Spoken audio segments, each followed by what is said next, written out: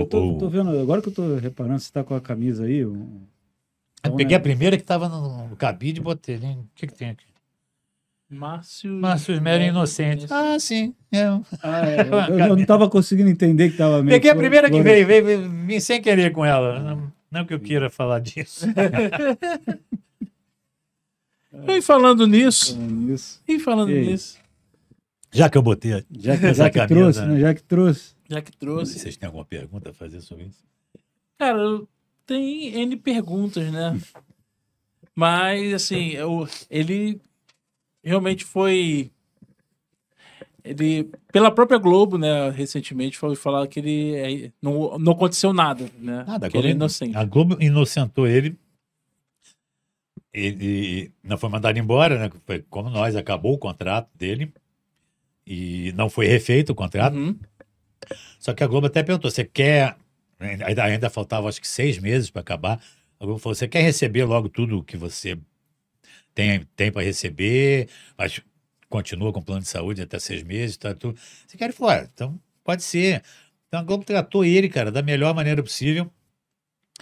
E ainda deu para ele uma carta que eu não sei o nome que tem essa carta, se é carta rosa, se é carta verde, carta, mas é uma carta que só grandes diretores, grandes pessoas que trabalharam na Globo que, e, que trouxeram grandes avanços para a Globo, grandes ideias. Uhum. Só esse tipo de pessoa recebe esse tipo de carta.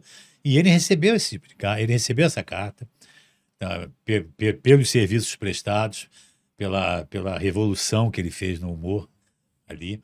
Porque realmente, cara, se você parar para pensar, cara, se eu falasse para você que se há 10 anos atrás eu, falar, eu falasse para você que ia existir um programa na Globo, que ia ter um personagem que ia chamar a Globo de filhote de ditadura, você ia acreditar? Que alguém na Globo ia falar, "Su- ó, dona Rede Globo, sua filhote de ditadura. sua de-" Você ia falar, você tá maluco, isso não vai acontecer nunca. E o cara conseguiu mudar a cabeça da Globo. Junto com isso a Schroeder, Globo não viu Junto com também. o Schroeder, que é muito importante, a abertura que o Schroeder deu para ele poder fazer isso, para ele poder criar isso. Então foi, foi revolucionário, cara. O cara trouxe Casa Bel de Nóbrega para fazer a velha surda dentro do Tá No Ar.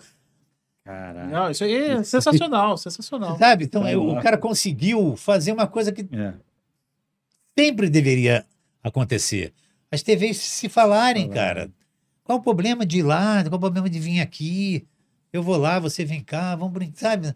Pô, o cara conseguiu botar isso na cabeça da Globo, que era, um, era uma coisa bem fechada, não podia falar nome de ninguém, não podia falar nome de outra, de outra emissora, era uma loucura. Então o cara fez realmente um, um bafafá ali, o cara conseguiu. Para o enterro do Tá No Ar, cara, vocês chegaram a ver isso? Não, chegaram- Não, não, eu enterro, vi, não, vi não. vi não. Pô, se você enterro. procurar isso, teve um enterro do Eu Tá No. Ar, cara. Foi muito engraçado. Quando acabou o Tá No Ar, eles saíram do, do, do, do último Estúdio. estúdio. que tinha, o G, lá em cima do Projac, com um caixão, uma bandinha daquelas que toca na frente da, da, da Casas Bahia, tipo uma fanfarra, é tipo um carnaval, bicho, e um caixão, do, tá no ar, tá, to- todo o elenco, todo mundo que quisesse entrar, eu entrei, eu fui, fui no enterro, cara, a gente correu, percorreu todo o Projac, o enterro do Tá No Ar, tal, e acabava num cemitério, onde tinha a lápide de todos os programas, Faça o Mundo, Faça a Guerra, Ivo Gordo, Caceta e Planeta, e tava lá a lápide, do Tá No Ar, Caraca. com um buraco no chão, aí enterraram, Tá No Ar, fizeram Caraca. enterro, Cara, e você via, o, o- a gente passou pela, pela frente do restaurante, acho que o, Bial estava almoçando, olhou aquilo, aí nego, chama, o Bial desceu. maneiro. Porra, é muito legal, cara. Muito maneiro. Ah, né, encontro com Fá- Fátima Bernardes. A Fátima Bernardes também desceu, vários artistas entraram na, na onda. Ah, Então, cara, sabe, o cara que transformou o humor dentro da Globo, né? O, trouxe respeito ao humor. Porque o humor nunca foi, nunca foi respeitado, sempre foi tratado como arte menor, desde que eu entendo por gente. É sempre co- coadjuvante, até nas novelas. Não, né? é, é impressionante. E é a coisa mais difícil de se fazer. É. Fazer chorar, você qualquer, faz qualquer um chorar, fazer rir, não é só gritar, né? Hoje em dia, o negócio que você falar alto, gritar, é pronto, é faz comédia. É, não, é, não é bem É. assim, mas é o que eles acham. Mas, cara, quer dizer, é isso que tem. A Globo, a Globo dispensou ele com honras, hum, honras militares, entendeu? O cara Então já, saiu, já, já o ele cara saiu bem. E nas telinhas aí. e ainda tem agora uma carta nova, né? Que fizeram uma outra acusação falsa, que ele, ele se defende. Ele tem um canal no YouTube, que é arroba Márcio Smelling, o Márcio Smelling, arroba o Márcio que é um canal só de defesa. Que ele estava quieto, não tinha canal, não tinha, não tinha nada. Quando fizeram a grande entrevista com todas as acusadoras, lá sete, com mais três ou gato, ou quatro gatos pingados para ajudar, sei, que elas atacaram ele, aí ele falou: então vou me defender, já que elas estão me atacando. Então ele começou a fazer o canal dele mostrando as provas, porque todos os ataques não têm prova, as acusações não têm prova, e a defesa dele tem provas. Ele tem WhatsApp, ele tem fotos, ele tem vídeos. Então ele está tá se defendendo de tudo. Então tem agora uma. Um, inventaram, não tem mais nada para inventar, inventaram o senhor Léo Dias. É, inventou que uma professora de inglês que deu aula para o Márcio Smelling no Projac processou ele por assédio sexual. Do nada veio Do nada. uma dessa. Aí o Márcio entrou com processo de calúnia, ganhou, e o Léo Dias foi obrigado a dizer que aquilo era mentira. E a, a Globo fez uma carta, uma declaração dizendo que nunca houve. A Globo nunca contratou uma Professor. professor de inglês para ninguém. E na, na acusação diz que a, a professora foi no DAA pedir para trocar de aluno, que ele era muito eh, inoportuno. Que ele... É. Então, quer dizer, inventaram, inventaram uma história mesmo. É uma coisa louca. E engraçado que ele ganhou, o cara postou, ó, essa, é- essa, essa matéria que eu coloquei é mentira. Só que aonde ele colocou a matéria, não tiraram do ar a matéria. Ué, Permanece. Permanece a matéria. Pode processar de novo? Tem que Ah, tirar. provavelmente Não, sim. porque ele processou o, o Léo Dias. O Léo Dias Ele se retratou. se retratou. Aí eu vi ontem, o, acho que foi. Acho que foi o. Não sei se é o Metrópole. É, é, Metrópole. o Metrópole advogada do Metrópole falando que não há interesse em se retratar em assunto nenhum, não há interesse do Metrópole em se retratar em de nada. Quer dizer, mantém uma notícia falsa.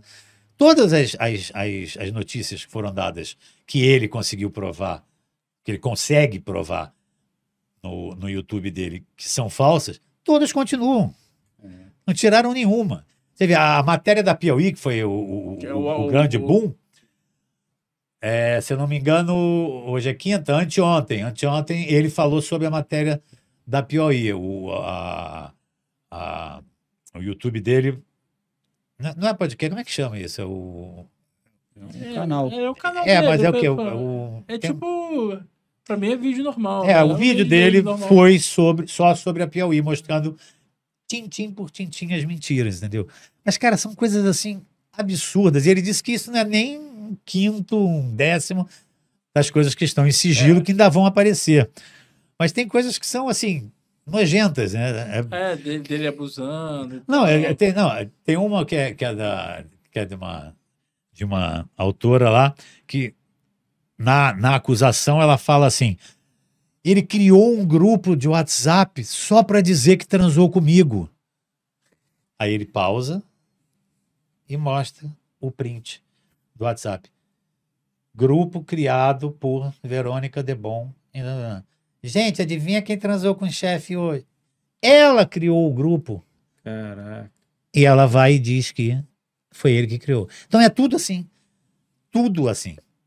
A, a, a Calabresa, uma das, das acusações é que, que ele pegou à força o celular dela naquele, naquela bendita festa para ver as fotos dela pelada. Aí ele vai, dá uma pausa e mostra. Olha aqui, recebi esse WhatsApp no dia seguinte da festa. WhatsApp da Dani Calabresa, dizendo: Ah, eu mostrei minhas fotos para você, mesmo você não querendo ver, só para você ver como eu tô gostosa. Caraca. Caraca. Então é tudo desmentido Um atrás do. Bicho, não tem, não se sustenta uma acusação. Uma. Não tem uma que ele. É, essa aqui eu não tenho como explicar. Não tem. Ele Mas- tem 180 vídeos já. Mas teve algum motivo, assim, pra elas? Não sei se é vingança. É vingança, ser- é, é vingança. Mas cada tem uma... algum motivo por que elas se Não, estão se cada vingando? uma tem a sua vingança. Tem a vingança sexual, a vingança passional, tem a vingança é, de raivinha de trabalho. Acho tem que foi coisa- acho da Dani, se eu não me engano. A Dani foi porque ela queria o fazer. Furo MTV, que ela queria fazer um Furo MTV e ela queria trazer todo o elenco É, do ela- Furo MTV. Não, é não, principalmente o Bento. Tô vendo. Ela queria o furo e o Bento. Aí acho que o Márcio falou: não, não vai ser exatamente igual o Bento, igual o furo, e eu não quero o Bento, vai ser Paulo Vieira. Ela falou: não quero fazer com o Paulo Vieira. Eu falei: então você não vai fazer. A gente vai fazer com outra. Aí. Aí ela ficou louca. Aí azedou. Aí passou a validade da, da calabresa. Aí ela ficou louca. Só que as outras já tinham várias coisinhas também. Só que as outras não tinham nome, não, tem, não, não tinham. Quem é? Mônica, né? É, é, eu, eu confundo os nomes, peraí. Quem é a Verônica de Bom? Por aí, na imprensa, falar, Márcio. Fe-" Não, eles precisavam de um nome, alguém de nome. Aí usaram a Dani. Aí quando a, a Dani apareceu, puta coisa, porra, é você. Vamos acabar com ele. Só que a ideia era fazer, fizeram com o, o Zé Maia. A gente vai na mídia, Detonar. destrói o cara, cancela o cara e pronto, né, vingancinha, acabou. Só que elas não esperavam que ele fosse ju- judici- judicializar o caso, porque foi ele que colocou na justiça. É, é, isso eu soube, que foi ele que foi estar processando Isso ela. já é a coisa mais ridícula do É. mundo. Se você quer justiça, você vai para onde? Para justiça. Não, elas foram para Instagram, Facebook. até agora. Ele justi- judicializou. foi- Elas foram para a Justiça Social. É, entendeu? Então, ele, ele que foi lá. É. Entendeu? Entendi. É, E tá lá eu, Alzheimer, falando alto. Cara, e. Por que isso, caralho? Não queria, não queria ter Alzheimer nessa hora, nesse assunto, entendeu?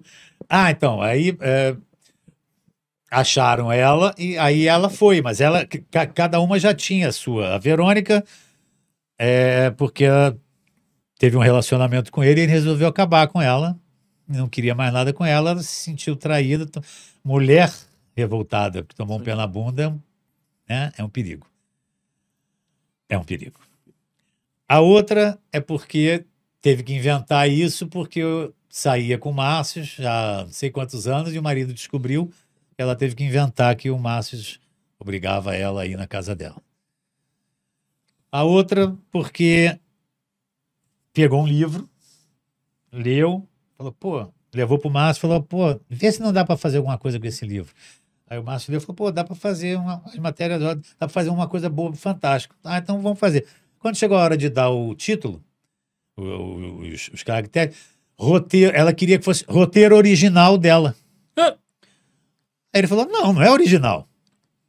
É roteiro, no mínimo, adaptado, porque você trouxe um livro, você já trouxe um negócio, e ele não deu esse caractere para ela. Esse, essa, aí essa ficou putinha também. Aí, e aí vai, entendeu? Então, aí começaram a arrumar outras que entraram de gaiata no navio. Não sabiam nem o que que eram. A É, Débora... Tipo, entrou na fila, né? Tá. É, a, a, a, a Débora Lan foi uma que. A, na hora lá que a juíza pergunta, a senhora é testemunha ou é, ou é vítima? Eu, eu, não- eu não sei. O que, que eu falo? Eu não sei. Ela não- a mulher não sabia o que, que era. Caraca. Entendeu?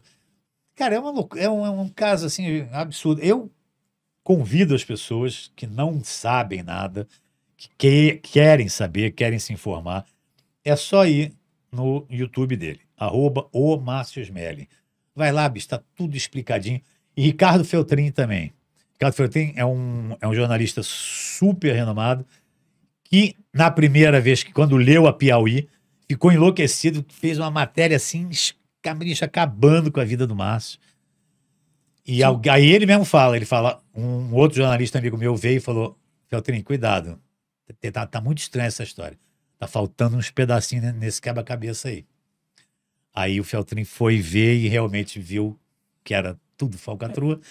Aí pediu perdão ao, Márcio, pediu desculpas e começou a fazer matérias sobre É esse o assunto. único, né? É o único que tá Não, é, tá não, eu, cobrindo, né, agora, desde o é, agora, agora já tem mais gente, já, já tem mais duas, duas mulheres é, co- cobrindo o caso. Eu vi uma, eu vi uma TikToker, né?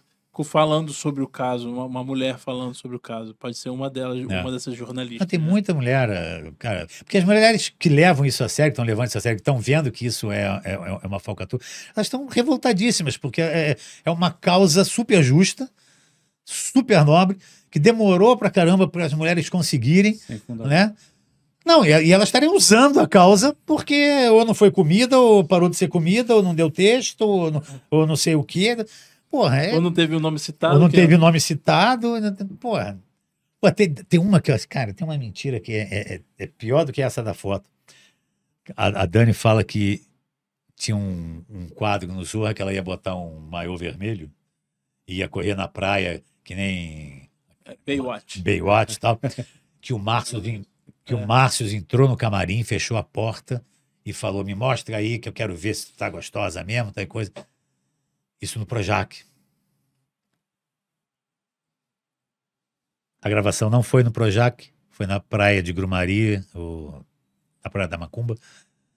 Foi uma externa, às sete horas da manhã. O Márcio, em seis anos de Zorra, nunca foi a uma externa e não tinha camarim. Quando a gente ia fazer essas externas, ou era uma casa de festas que eles tampavam com tapume assim, dois ladinhos para fazer dois camarinzinhos, ou era trailer, um trailer masculino e um trailer feminino. Então não tinha.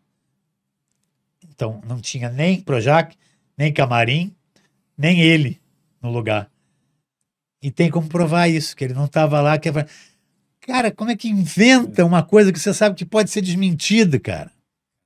Caraca, é, é um absurdo, né, cara? É um absurdo uma Aí ela, claro, a esse nível. Ainda. Ah, prescreveu. Elas estavam loucas que prescrevessem, porque senão elas teriam que falar com o juiz. Para falar com o juiz, elas iam ter que escolher qual história, que elas já contaram duas, três diferentes, iam ter que mentir para o juiz. Aí, Aí já era. Aí vão ser presas. então, né? graças a Deus, para elas, tem umas aí que. Ah, que, que pena que, que prescreveu com um sorrisinho. Claro, loucas para prescrever. Mas a ideia delas é, é só acabar com o cara. Aí, só. aí o Márcio cara, tem que ter, manter manter o até o fim, né? Não, o Márcio está se defendendo, está indo, vai, vai se defender, com certeza vai voltar, vai voltar lá em cima, vai voltar por cima e ainda vai contar tudo. Ainda vai contar tudo e ainda a gente vai saber coisas que, segundo ele, são de arrepiar os cabelos. Que ele não pode contar porque é, segredo de tá- justiça. Segredo de justiça, a não ser que caia nas mãos de Guilherme Amado, que É. Guilherme Amado sabe tá muita coisa de, coisa aí. muita coisa que a justiça de São Paulo mantém se- segredo de, de, né, é, Sigilo? sigilo, o, o Cláudio, é, Guilherme Amado consegue, ninguém sabe como.